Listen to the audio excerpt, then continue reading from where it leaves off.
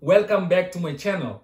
Today I'm gonna talk about a scientist who has become the mastermind behind 4th generation or 4G technology.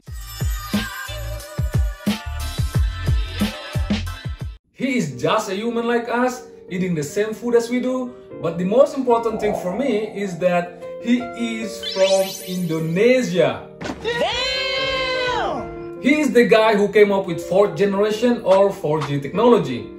You know, 4G is what makes our phones and the internet work faster. And it came into the scene back in 2009. This guy is originally from Indonesia but lived in Japan for 12 years. He is the brain behind LTE technology. So, what is LTE?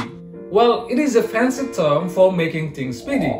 This guy worked as a researcher at JAIST, Japan Advanced Institute of Science and Technology, and his ideas are like the magic sauce that powers 4G LTE technology. Well, it might sound a bit techy, but trust me, it is what helps us stream videos and scroll through social media without any glitches. Oh, and he's not just about 4G. He has some cool patents like figuring out illegal transmitters and guess what? These ideas are super useful for 5G technology. So, the next time you are enjoying your fast internet, remember Khairul Anwar the guy making it all happen. Cool, right?